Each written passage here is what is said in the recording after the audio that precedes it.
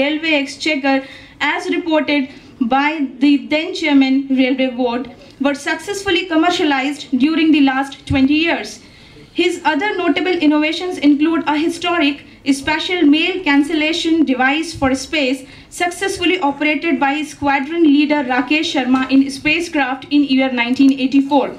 A portable and reusable voting compartment, EVM enclosure, currency notes, fastener, automatic